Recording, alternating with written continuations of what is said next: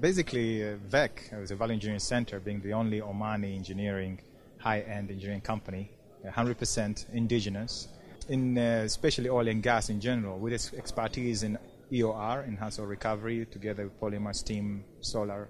So that is an exciting ride for VEC since it started 2008. Now, 2013 today, we are 120 growing to 150.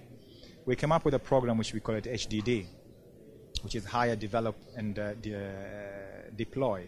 Uh, it's, a, it's a program of basically um, developing the Omani talent, uh, whether it is a graduate engineers from degree side or diploma or lower. in a, in a not, nutshell, it's a mix.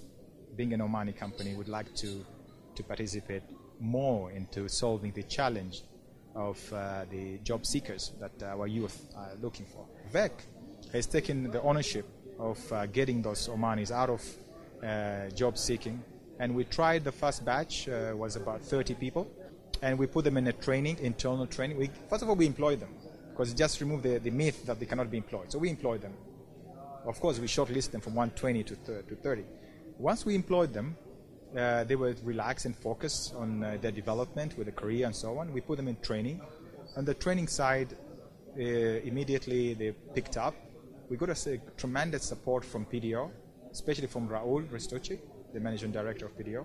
So for me, that's the passion which I'm doing right now, just this HDD, high develop and deploy as a brand of uh, recruitment for Manis.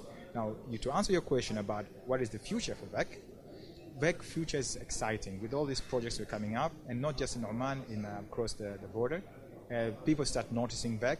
Uh, I've been receiving calls from um, from the ministry as well I've been meeting the, His Excellency uh, Dr. Rumhi, I've been meeting uh, His Excellency uh, Nasir Jashmi, and they all support it. So if, if we have those people, we have the client, uh, like uh, PDO, they're all happy, the future is bright for VEC.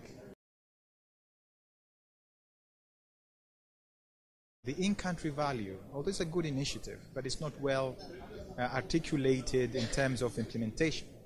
And to me, that is a, a big uh, risk for those people who said, all right, fine, jump into ICV, put a factory over there, but yet they go and compete with the same price uh, against the international. It is going to be uh, attractive for sure because with all these investments which are happening in the country, for sure in-country value will play a big, big factor.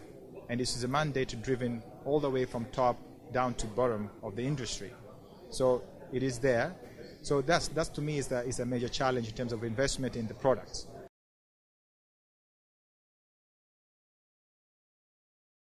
Our biggest challenge uh, right now is value versus cost. The, the market is getting tighter and tighter in terms of cost. They're cost conscious. Uh, not price, because they end up paying more, but they're driven by cost. So they end up with, uh, awarding contracts at the lower rates, yet to complete the contract at a higher rates uh, higher price.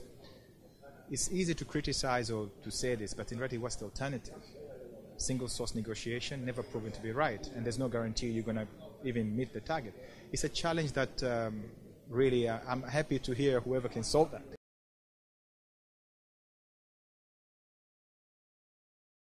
Transparency, I haven't faced the major uh, issues of transparency from the major companies.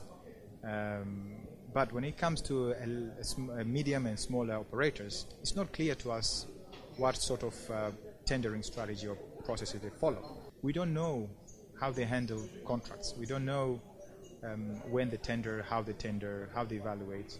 Uh, now, I'm an advocate of openness as well.